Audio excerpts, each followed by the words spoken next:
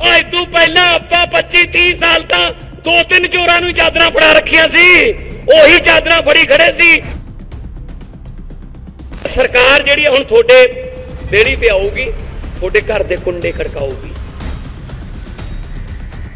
ਹੁਣ ਪਤਾ ਲੱਗਿਆ ਜਦੋਂ ਉਹਨਾਂ ਚੋਰਾਂ ਨੂੰ ਤੁਸੀਂ ਹਰਾਇਆ, ਹੁਣ ਚਾਦਰ ਆਪਣੇ ਹੱਥ 'ਚ ਆਈ ਹੈ। ਆਜ਼ਾਦੀ ਤੋਂ ਬਾਅਦ ਤਾਂ ਸਾਡੇ ਬਾਪੂ ਜਿਹੜੇ ਨੇ, ਉਹ ਸੁੱਖ ਦੀ ਸਾਹ ਲੈ ਲੈਣ। ਪਰ ਹੋਇਆ ਨਹੀਂ ਸੀ ਕੰਮ ਇਹ। ਗੁਰੂਆਂ ਦਾ ਸਾਡੇ ਤੇ ਆਸ਼ੀਰਵਾਦ ਹੈ।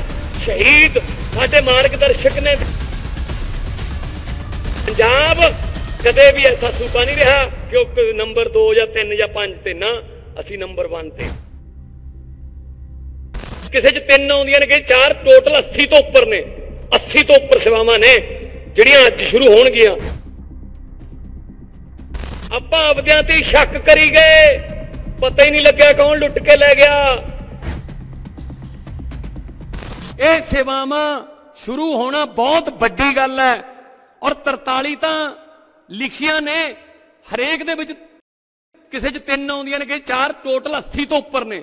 80 ਤੋਂ ਉੱਪਰ ਸੇਵਾਵਾਂ ਨੇ, ਜਿਹੜੀਆਂ ਅੱਜ ਸ਼ੁਰੂ ਹੋਣਗੀਆਂ। ਔਰ ਕੋਈ ਸ਼ਿਕਾਇਤ ਹੋਵੇ ਉਹਦੇ ਵਾਸਤੇ ਅਲੱਗ ਤੋਂ ਸਾਡੇ ਕੋਲੇ ਹੈ। ਸੋ ਇਹ ਸਰਕਾਰ ਜਿਹੜੀ ਹੈ ਹੁਣ ਤੁਹਾਡੇ ਦੇਣੀ ਤੇ ਆਊਗੀ। ਤੁਹਾਡੇ ਘਰ ਦੇ ਕੁੰਡੇ ਖੜਕਾਊਗੀ ਸ਼ਹੀਦ ਆਜ਼ਮ ਭਗਤ ਸਿੰਘ ਹੋਰਾਂ ਨੇ ਇਹੀ ਸੋਚਿਆ ਸੀ ਕਿ ਆਜ਼ਾਦੀ ਤੋਂ ਬਾਅਦ ਤਾਂ ਖੱਜਲ ਖੁਆਰੀਆਂ ਨਾ ਹੋਣ। ਆਜ਼ਾਦੀ ਤੋਂ ਬਾਅਦ ਤਾਂ ਸਾਡੇ ਬਾਪੂ ਜਿਹੜੇ ਨੇ, ਉਹ ਸੁੱਖ ਦੀ ਸਾਹ ਲੈ ਲੈਣ, ਪਰ ਹੋਇਆ ਨਹੀਂ ਸੀ ਕੰਮ ਇਹ। ਸੋ ਹੁਣ ਹੋ ਰਿਹਾ ਉਹ ਕੰਮ ਇਹ ਤੋਂ ਪਹਿਲਾਂ ਕਿਉਂ ਨਹੀਂ ਹੋਇਆ? ਕਾਰਨ ਕੀ ਰਿਹਾ? ਆਪਾਂ ਚੋਰਾਂ ਤੇ ਭਲੇ ਮਾਨਸਾਂ 'ਚ ਫ਼ਰਕ ਹੀ ਨਹੀਂ ਕੱਢ ਸਕੇ। ਆਪਾਂ ਆਪਦਿਆਂ ਨੂੰ ਹੀ ਆਪਾਂ ਆਪਦਿਆਂ ਤੇ ਸ਼ੱਕ ਕਰੀ ਗਏ। ਪਤਾ ਹੀ ਨਹੀਂ ਲੱਗਿਆ ਕੌਣ ਲੁੱਟ ਕੇ ਲੈ ਗਿਆ। ਕਿਸੇ ਪਿੰਡ 'ਚ ਮੱਝਾਂ ਚੋਰੀ ਹੋਣ ਲੱਗੀਆਂ। ਗੱਲ ਸੁਣ ਲਿਓ ਧਿਆਨ ਨਾਲ। ਮੱਝਾਂ ਚੋਰੀ ਹੋਣ ਲੱਗੀਆਂ ਕਿਸੇ ਪਿੰਡ 'ਚ। ਇੱਕ ਮੱਝ ਚੋਰੀ ਹੋ ਗਈ, ਅਗਲੇ ਦਿਨ ਦੋ ਹੋ ਗਈਆਂ। ਦੋ ਦਿਨ ਛੱਡ ਕੇ ਦੋ ਹੋਰ ਹੋ ਗਈਆਂ। ਪਿੰਡ ਦੇ ਲੋਕ ਉਸ ਪਿੰਡ 'ਚ ਕੋਈ ਬਾਬਾ ਬੈਠਾ ਸੀ ਡੇਰੇ ਤੇ। ਸਾਧੂ ਮਹਾਤਮਾ, ਉਹਦੇ ਕੋਲੇ ਗਏ, ਬਾਬਾ ਜੀ ਮੱਝਾਂ ਚੋਰੀ ਹੋ ਰਹੀਆਂ ਨੇ। ਰੋਜ਼ ਇੱਕ ਦੋ ਚੋਰੀ ਹੋ ਜਾਂਦੀਆਂ ਨੇ। ਕੋਈ ਰਾਹ ਪਾਓ, ਦੱਸੋ ਕੀ ਕਰੀਏ? ਉਹ ਕਹਿੰਦਾ, ਬਾਬਾ, ਕਹਿੰਦਾ ਚਾਰ ਜਾਣੇ, ਇੱਕ ਚਾਦਰ ਦੀ ਕੰਨੀਆਂ ਫੜ ਕੇ ਖੜ ਜਿਓ, ਚਾਰੇ ਕੰਨੀਆਂ।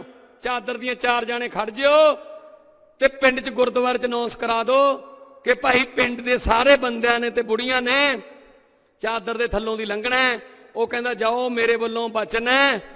ਜਿਹਨੇ ਮੱਝਾਂ ਚੋਰੀ ਕੀਤੀਆਂ ਹੋਈਆਂ, ਜਦੋਂ ਚਾਦਰ ਦੇ ਥੱਲੋਂ ਦੀ ਲੰਘੂਗਾ, ਉਹਦੀ ਮਰ ਜਾਊਗਾ। ਚਾਰੇ ਕੰਨੀਆਂ ਫੜ ਕੇ ਚਾਰ ਜਾਣੇ ਖੜ ਗਏ। ਲੰਘਾਈ ਗਏ ਲੋਕਾਂ ਨੂੰ, ਪਿੰਡਦਿਆਂ ਨੂੰ, ਲੰਘਾਈ ਗਏ, ਬੁੜੀਆਂ ਨੂੰ ਵੀ ਲੰਘਾਈ ਗਏ। ਕੋਈ ਘਰੇ ਰਹਿ ਗਿਆ, ਉਹਨੂੰ ਵੀ ਲਿਆਂਦਾ। ਭਾਈ ਤੇਰੇ ਤੇ ਸ਼ੱਕ ਨਾ ਹੋ ਜੇ ਲੰਘ ਥੱਲੋਂ ਦੀ। ਲੰਘਾਈ ਗਏ ਲੰਘਾਈ ਗਏ, ਸਾਰਾ ਪਿੰਡ ਲੰਘ ਗਿਆ। ਕੋਈ ਨਹੀਂ ਮਰਿਆ। ਕਾਰਨ ਪਤਾ ਕੀ ਸੀ? ਜਿਹੜੇ ਮੱਝਾਂ ਚੋਰੀ ਕਰਦੇ ਸੀ, ਉਹ ਤਾਂ ਚਾਦਰ ਫੜੀ ਖੜੇ ਸੀ। ਮਰੂਗਾ ਕੌਣ? ਚੋਰ ਤਾਂ ਚਾਦਰ ਫੜੀ ਖੜੇ ਸੀ। ਆਪਾਂ ਨੇ ਵੀ ਇਹੀ ਕੀਤਾ। ਉਹ ਇਦੋਂ ਪਹਿਲਾਂ ਆਪਾਂ 25 30 ਸਾਲ ਤਾਂ ਦੋ ਤਿੰਨ ਚੋਰਾਂ ਨੂੰ ਚਾਦਰਾਂ ਫੜਾ ਰੱਖੀਆਂ ਸੀ। ਉਹੀ ਚਾਦਰਾਂ ਫੜੀ ਖੜੇ ਸੀ। ਸ਼ੱਕ ਆਪਾਂ ਆਪਣਿਆਂ ਤੇ ਕਰੀ ਜਾਂਦੇ ਸੀ। ਹੁਣ ਪਤਾ ਲੱਗਿਆ ਜਦੋਂ ਉਹਨਾਂ ਚੋਰਾਂ ਨੂੰ ਤੁਸੀਂ ਹਰਾਇਆ ਹੁਣ ਚਾਦਰ ਆਪਣੇ ਹੱਥ 'ਚ ਆਈ ਹੈ। ਇਮਾਨਦਾਰੀ ਵਾਲੀ ਚਾਦਰ ਹੁਣ ਆਪਾਂ ਜਿਹੜੀ ਹੈ, ਇਮਾਨਦਾਰੀ ਵਾਲੀ ਚਾਦਰ ਨਾਲ ਪੰਜਾਬੀਆਂ ਤੇ ਛਾਂ ਕਰਨੀ ਹੈ। ਇਮਾਨਦਾਰੀ ਵਾਲੀ ਚਾਦਰ ਨਾਲ। ਔਰ ਪੰਜਾਬ ਕਦੇ ਵੀ ਐਸਾ ਸੂਬਾ ਨਹੀਂ ਰਿਹਾ ਕਿ ਉਹ ਨੰਬਰ 2 ਜਾਂ 3 ਜਾਂ 5 ਤੇ ਨਾ ਅਸੀਂ ਨੰਬਰ 1 ਤੇ। ਸਾਨੂੰ ਨੰਬਰ 1 ਬਿਨਾ ਹੋਈ ਕੋਈ ਹੋਰ ਪੋਜੀਸ਼ਨ ਪਸੰਦ ਹੀ ਹੈ ਨਹੀਂ ਸਾਨੂੰ। ਸੋ ਅਸੀਂ ਉਹ ਉਹ, ਉਸ ਕੌਮ ਚੋਂ ਆ ਜੋ ਮਿਹਨਤੀ ਕੌਮ ਹੈ। ਗੁਰੂਆਂ ਦਾ ਸਾਡੇ ਤੇ ਆਸ਼ੀਰਵਾਦ ਹੈ। ਸ਼ਹੀਦ ਸਾਡੇ ਮਾਰਗਦਰਸ਼ਕ ਨੇ, ਦੇਵੀ ਦੇਵਤੇ। ਸਾਡੇ ਕੋਲੇ ਗ੍ਰੰਥ ਸਾਹਿਬ, ਸਾਡੇ ਸਾਡੇ ਪਵਿੱਤਰ ਗ੍ਰੰਥ, ਉਹ ਸਾਡੇ ਕੋਲੇ ਸਾਡੇ ਰਾਹ ਦਸੇਰੇ ਨੇ। ਤੇ ਫਿਰ ਸਾਨੂੰ ਕੌਣ ਹਰਾ ਸਕਦਾ ਜੀ? ਉਹਨਾਂ ਨੇ ਵੀ ਇਹੀ ਕੀਤਾ। ਉਹ ਇਦੋਂ ਪਹਿਲਾਂ ਆਪਾਂ 25 30 ਸਾਲ ਤਾਂ ਦੋ ਤਿੰਨ ਚੋਰਾਂ ਨੂੰ ਚਾਦਰਾਂ ਫੜਾ ਰੱਖੀਆਂ ਸੀ। ਉਹੀ ਚਾਦਰਾਂ ਫੜੀ ਖੜੇ ਸੀ। ਸ਼ੱਕ ਆਪਾਂ ਆਪਣਿਆਂ ਤੇ ਕਰੀ ਜਾਂਦੇ ਸੀ। ਹੁਣ ਪਤਾ ਲੱਗਿਆ ਜਦੋਂ ਉਹਨਾਂ ਚੋਰਾਂ ਨੂੰ ਤੁਸੀਂ ਹਰਾਇਆ ਹੁਣ ਚਾਦਰ ਆਪਣੇ ਹੱਥ 'ਚ ਆਈ ਹੈ। ਇਮਾਨਦਾਰੀ ਵਾਲੀ ਚਾਦਰ। ਹੁਣ ਆਪਾਂ ਜਿਹੜੀ ਹੈ, ਇਮਾਨਦਾਰੀ ਵਾਲੀ ਚਾਦਰ ਨਾਲ ਪੰਜਾਬੀਆਂ ਤੇ ਛਾਂ ਕਰਨੀ ਹੈ।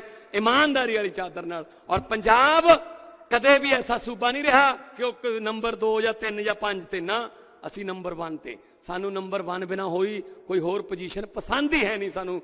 ਸੋ ਅਸੀਂ ਉਹ ਉਹ, ਉਸ ਕੌਮ ਚੋਂ ਆ ਜੋ ਮਿਹਨਤੀ ਕੌਮ ਹੈ। ਗੁਰੂਆਂ ਦਾ ਸਾਡੇ ਤੇ ਆਸ਼ੀਰਵਾਦ ਹੈ। ਸ਼ਹੀਦ ਸਾਡੇ ਮਾਰਗਦਰਸ਼ਕ ਨੇ, ਦੇਵੀ ਦੇਵਤੇ।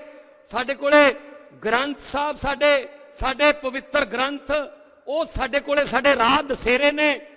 ਤੇ ਫਿਰ ਸਾਨੂੰ ਕੌਣ ਹਰਾ ਸਕਦਾ ਜੀ?